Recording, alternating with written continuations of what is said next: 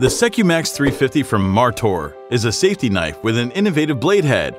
The all-rounder gives maximum comfort and maximum safety. The safety knife weighs just 37 grams and can be used by either right or left-handers. The concealed blade reliably protects both you and your goods. When finished, keep safe. Use the pointed nose of the knife to pierce and cut. For film, apply from above and keep the film under tension.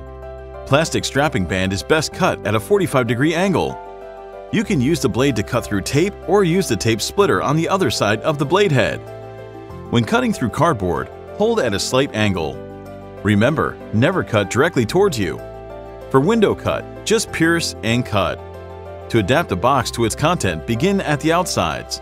Cut down from the corners and fold in the sides. For cable ties as well as anything else, never leverage, always cut through. Secumax 350 is suitable for either right or left-handers, which also means you can always change hands during a task. When cutting any flexible type of material, increase the tension to facilitate cutting.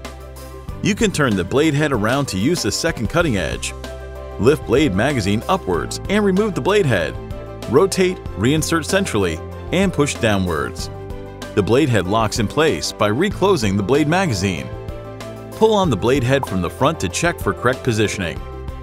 Replace the blade head when both cutting edges have been used. To do this, remove the used blade head and dispose of instantly. Push out the spare blade head from the blade magazine and insert correctly at the front end of the handle. Refill the magazine with a Martor blade head for later use. Close, test by pulling, and then place in belt holster.